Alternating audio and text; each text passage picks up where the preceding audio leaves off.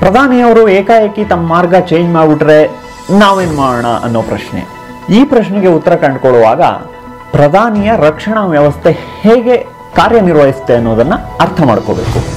ಓ BJP ಪ್ರಧಾನಿ helicopter ಮಾರ್ಗವನ್ನು ಬಿಟ್ಟು ರಸ್ತೆಯಲ್ಲಿ ಹೋಗಬೇಕಾದ್ರೆ ಆ ರಸ್ತೆ ಕ್ಲಿಯರ್ ಇದೆಯೇ ಅಥವಾ ಆ ರಸ್ತೆಯಲ್ಲಿ ಹೋಗ್ಬೋದಾ ಅಂತ ಸ್ಥಳೀಯ ಪೊಲೀಸ್ ಡಿ ಜಿ ಪಿ ಸೂಚನೆ ಕೊಟ್ಟ ಹೊರತು S P G special protection group ಒಂದಿಂಚು ಕೂಡ ಕದಲಲ್ಲ.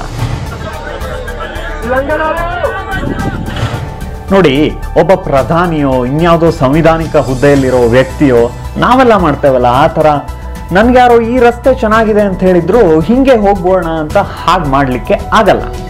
ಎಲ್ಲವೂ ಕೂಡ ಮೊದಲು ನಿಗದಿಯಾದಂತಹ ತುರ್ತು ಪರ್ಯಾಯ ಮಾರ್ಗಗಳನ್ನು ಅನುಸರಿಸಿಯೇ ನಡೆಯುವಂತಹ ವ್ಯವಸ್ಥೆ ಇದು. ಪ್ರಧಾನಿಯವರ ಭದ್ರತೆಯಲ್ಲಾದ ಲೋಪದ ಬಗ್ಗೆ ದೇಶಾದ್ಯಂತ ಚರ್ಚೆಗಳು ಆಗ್ತಿರುವಾಗ ಕಾಂಗ್ರೆಸ್ ಹಾಗೂ ಕಾಂಗ್ರೆಸ್ನ ಸಮರ್ಥಕರು ಎರಡು ರೀತಿಯ ವಾದಗಳನ್ನ ಮುಂದಿಡ್ತಾ ಇದ್ದಾರೆ. ಪ್ರಧಾನಿ ಏಕಾಏಕಿ ತಮ್ಮ ಮಾರ್ಗ ಬದಲಾಯಿಸಿದ್ರೆ ನಾವೇನ್ ಮಾಡೋಣ?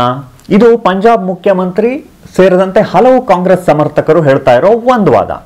ಇನ್ನೊಂದು ರಾಜಕೀಯ ವಾದ ಏನಿದೆ ಅಂತಂದ್ರೆ, ಪ್ರಧಾನಿಯವರ ರ್ಯಾಲಿಯಲ್ಲಿ ಸೇರಬೇಕಾದಷ್ಟು ಜನ ಸೇರಿರಲಿಲ್ಲ, ಹಾಗಾಗಿ ಅವರೇ ಡ್ರಾಮಾ ಮಾಡಿ ಹಿಂದೆ ಹೋದ್ರು ಅನ್ನೋದು. ಈ ಎರಡನೇ ವಾದಕ್ಕೆ ಬರೋಣ. ಈ ಎರಡನೇ ವಾದಕ್ಕೆ ಉತ್ತರವಾಗಿ ಅದಾಗಲೇ ಸಾಲು ಸಾಲಾಗಿ ಜನ ಪ್ರಧಾನಿ ಮೋದಿ ರ್ಯಾಲಿಗೆ ಹೋಗ್ತಾ ಇರುವ ದೃಶ್ಯಗಳು ಸೋಷಿಯಲ್ ಮೀಡಿಯಾದಲ್ಲಿ ನಮ್ಮ ಮುಂದಿವೆ. ಇಷ್ಟಕ್ಕೂ ಅದು ಕಾಂಗ್ರೆಸ್ ರ್ಯಾಲಿ ಆಗಿರಲಿ ಬಿ ಜೆ ಪಿಯ ರ್ಯಾಲಿ ಆಗಿರಲಿ, ಆ ಸಮಾವೇಶ ಪ್ರಾರಂಭ ಆಗ್ತಾ ಇರುವಾಗ ಹೋಗಿ ಖಾಲಿ ಕುರ್ಚಿಗಳನ್ನು ತೆಕ್ಕೋ ಬರೋದು ಯಾರಿಗೂ ಕಷ್ಟದ ಕೆಲಸ ಏನಿಲ್ಲ. ಅದೇನೇ ಇರಲಿ, ಇಲ್ಲಿ ಪ್ರಮುಖವಾಗಿ ಪ್ರಶ್ನೆ ಇರೋದು, ಪ್ರಧಾನಿ ಹೋಗಬೇಕಿದ್ದ ರಸ್ತೆ ಅದು ಬ್ಲಾಕ್ ಆಗಿತ್ತಾ? ಅದು ಬ್ಲಾಕ್ ಆಗಿತ್ತು ಅನ್ನೋದಕ್ಕೆ ಸಂದೇಹಕ್ಕೆ ಎಡೆ ಇಲ್ಲದ ರೀತಿಯಲ್ಲಿ ಹಲವಷ್ಟು ಸಾಕ್ಷ್ಯಾಧಾರಗಳು ನಮ್ಮ ಮುಂದಿವೆ. ಪಂಜಾಬ್ ಸರ್ಕಾರ ಉತ್ತರಿಸಬೇಕಾಗಿರೋದು ಈ ಭದ್ರತಾ ಲೋಪಕ್ಕೆ. ಪ್ರಧಾನಿಯವರು ರ್ಯಾಲಿಯಲ್ಲಿ ಜನ ಕಡಿಮೆ ಇದ್ದಕ್ಕೆ ಹಿಂದೆ ಹೋದ್ರಾ ಇಲ್ವಾ ಅನ್ನೋದೆಲ್ಲ ಇಲ್ಲಿ ರಿಲೆವೆಂಟ್ ಆಗೋ ಪ್ರಶ್ನೆಯೇ ಅಲ್ಲ. ಪ್ರಧಾನಿ ಹೋಗುವ ಮಾರ್ಗವನ್ನ ನೀವು ಸ್ಯಾನಿಟೈಸ್ ಮಾಡಲಿಕ್ಕೆ ಸಫಲರಾಗಿದ್ರ? ಅಲ್ಲಿ ಪ್ರತಿಭಟನಾಕಾರರು ಇದ್ರ ಅನ್ನೋದೆಲ್ಲ ಈಗ ರಿಲೆವೆಂಟ್ ಆಗೋ ಪ್ರಶ್ನೆಗಳು ಈ ನಿಟ್ಟಿನಲ್ಲಿ ಅಲ್ಲಿ ಪ್ರತಿಭಟನೆಕಾರರು ಬಹಳ ದೊಡ್ಡ ಸಂಖ್ಯೆಯಲ್ಲಿ ಜಮಾಯಿಸಿದ್ರು. ಪ್ರಧಾನಿಯ ರಸ್ತೆ ಬ್ಲಾಕ್ ಆಯಿತು, ಅವರಿಗೆ ಮುಂದಕ್ಕೆ ಹೋಗಲಿಕ್ಕೆ ಆಗಲಿಲ್ಲ. ಹಾಗೂ ಪಂಜಾಬ್ನ ಪೊಲೀಸರು ಹೀಗೆ ಪ್ರತಿಭಟನೆಗೆ ನಿಂತವ್ರ ಜೊತೆನೆ ಚಹಾ ಕುಡಿದುಕೊಂಡಿದ್ರು ಅನ್ನೋದಕ್ಕೆ ಸಾಕಷ್ಟು ಪುರಾವೆಗಳು, ದೃಶ್ಯಗಳು ಎಲ್ಲವೂ ಕೂಡ ನಮ್ಮ ಕಣ್ಣ ಮುಂದಿವೆ.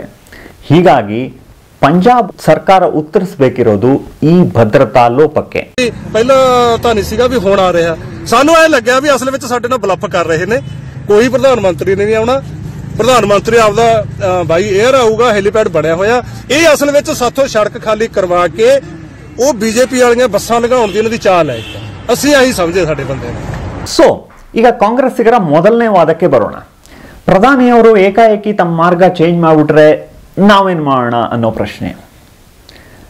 ಈ ಪ್ರಶ್ನೆಗೆ ಉತ್ತರ ಕಂಡುಕೊಳ್ಳುವಾಗ ಪ್ರಧಾನಿಯ ರಕ್ಷಣಾ ವ್ಯವಸ್ಥೆ ಹೇಗೆ ಕಾರ್ಯನಿರ್ವಹಿಸುತ್ತೆ ಅನ್ನೋದನ್ನು ಅರ್ಥ ಮಾಡ್ಕೋಬೇಕು. S P G special protection group S ಈ ಸ್ಪೆಷಲ್ ಪ್ರೊಟೆಕ್ಷನ್ ಗ್ರೂಪ್ ಅನ್ನೋದು ಪ್ರಧಾನಿಗೆ ಹತ್ತಿರದಲ್ಲಿ ಇದ್ದುಕೊಂಡು ಪ್ರಧಾನಿಯ ಸನಿಹದಿಂದ ರಕ್ಷಣಾ ವ್ಯವಸ್ಥೆಯನ್ನು ನಿಭಾಯಿಸುವಂತಹ ಒಂದು ವ್ಯವಸ್ಥೆ. ಆದರೆ ಪ್ರಧಾನಿ ಯಾವುದೇ ರಾಜ್ಯಕ್ಕೆ ಹೋಗಿರಲಿ, ಅದು ರಾಜಕೀಯ ಸಮಾರಂಭಕ್ಕಿರಲಿ ಅಥವಾ ಇನ್ಯಾವುದೇ ಸರ್ಕಾರಿ ಸಮಾರಂಭಕ್ಕಿರಲಿ, ಅಲ್ಲಿ ಪ್ರಧಾನಿಯ ಸುರಕ್ಷತೆಯ ರೂಪುರೇಷೆ ಎಸ್ ಪಿ ಜಿಯ ಜೊತೆ ಸಮಾಲೋಚಿಸಿ ಆಗುವಂಥದ್ದು ಸ್ಥಳೀಯ ಪೊಲೀಸ್ ವ್ಯವಸ್ಥೆ ಮತ್ತು ಅಲ್ಲಿನ ಇಂಟೆಲಿಜೆನ್ಸ್ ಆಧಾರದ ಮೇಲೇನೆ. ಎಸ್ ರ್ಯಾಲಿಯ ಜಾಗಕ್ಕೆ ಪ್ರಧಾನಿ ಹೆಲಿಕಾಪ್ಟರ್ನಲ್ಲಿ ಹೋಗೋದು ಬಿಟ್ಟು ರಸ್ತೆ ಮೂಲಕ ಹೋದರು.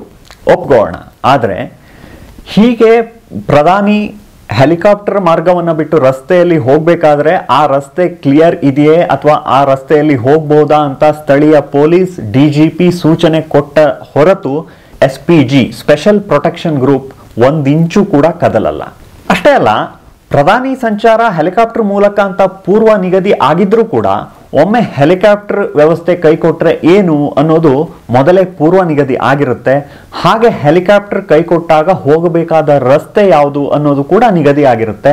ಅದನ್ನ ನಾವು ಕಾಂಟಿಜೆನ್ಸಿ ಪ್ಲಾನ್ ಅಂತ ಹೇಳ್ತೇವೆ.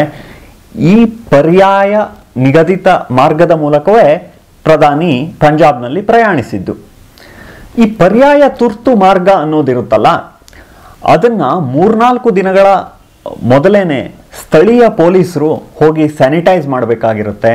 ಅದರ ಮೇಲುಸ್ತುವಾರಿಯನ್ನು ಪ್ರಧಾನಿಯ ರಕ್ಷಣೆ ಹೊಣೆ ಹೊತ್ತಂತಹ ಸಮೂಹ ಹೊಂದ್ಕೊಂಡಿದ್ರು ಕೂಡ, ಅಲ್ಲಿ ಆನ್ ಗ್ರೌಂಡ್ನಲ್ಲಿ ಅದೆಲ್ಲದರ ವ್ಯವಸ್ಥೆ ಮಾಡಬೇಕಾದ ಹೊಣೆ ಪಂಜಾಬ್ ಪೊಲೀಸ್ದೇ ಆಗಿರುತ್ತೆ.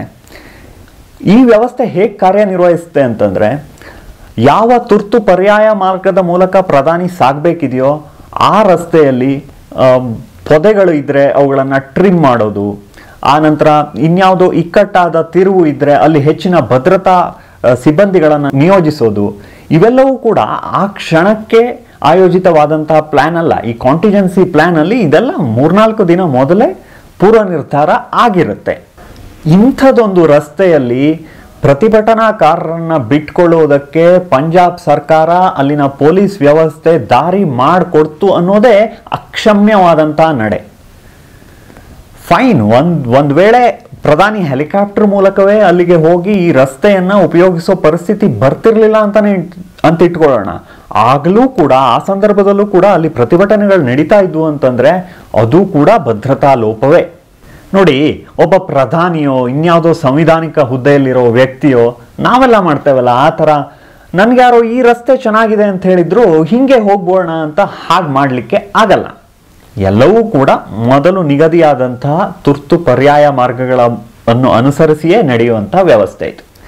ಹೀಗಾಗಿ ಪಂಜಾಬ್ ಸರ್ಕಾರ ಇವತ್ತೇನು ಹೇಳ್ತಿದೆಯೋ, ಕೊನೆ ಕ್ಷಣದಲ್ಲಿ ಪ್ರಧಾನಿಯವರದ್ದು ಮಾರ್ಗ ಬದಲಾಯಿತು, ನಾವೇನು ಮಾಡೋಣ ಅನ್ನುವ ವಾದ ಇದೆಯಲ್ಲ? ಒಂದೋ ಬಾಲಿಶವಾದದ್ದು, ಇಲ್ಲ, ಎಲ್ಲವೂ ಗೊತ್ತಿದ್ದುಕೊಂಡು ಕೊಡ್ತಾ ಇರುವಂತಹ ಒಂದು ಸಮರ್ಥನೆ.